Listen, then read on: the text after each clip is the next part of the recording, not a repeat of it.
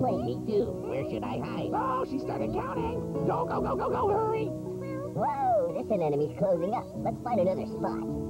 Get out of here, man. This is my hiding spot. Whoa, sorry, dude. She'll never find us in here in a billion years. Oh, I think I'm stuck. Be very, very quiet.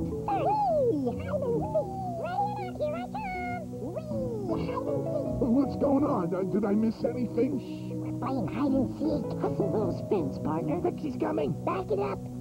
Oh, I'm coming. I wonder where everybody is. I think I see somebody.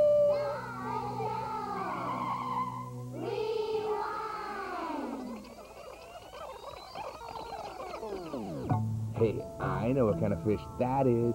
I'm pretty sure I saw it in a movie once. It's a clownfish. Right, a clownfish. That's pretty good, Dad. Yep, I know my fish. Wow, look at them all. They look like they're having fun. Hey, Dad, do you know what that purple thing is? Mm, no. Do you? It's a sea anemone. Oh, anemone. Uh, how do you say it? A sea anemone. That's where the clownfish live. Anemone. I thought those were poisonous. Clownfish are the only fish in the ocean that are immune to the sting. But all other fish can get stung? Yep, and humans too. It's a perfect safe place for a clownfish to live. So the clownfish and the anemone help each other. That's called symbiosis. Wow, how did you know that?